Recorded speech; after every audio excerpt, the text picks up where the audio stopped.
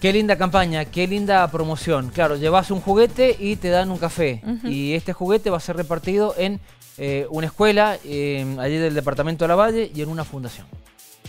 La metodología es que la gente puede venir a desayunar y en vez de pagar poder tener eh, un, un juguete ¿sí? Eso es lo que nos trae para que podamos donarlo para este Día del Niño. Hace años trabajamos con la Federación Shaolin Tao del profesor el maestro Omar Carrasco, eh, ayudando a familias de Lulunta.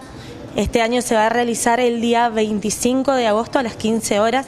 Congrega aproximadamente entre 500 a 600 personas, la mayoría niños, familias a las que se les da eh, siempre un montón de ayuda y bueno, van a poder tomar una media tarde, recibir un juguete, jugar, ver una función de kung fu, Parte de estos juguetes van a ir a ese lugar y otra parte ¿dónde va a ir? La otra parte va a ir para la Valle, para la zona de San José, que es la que limita con San Juan.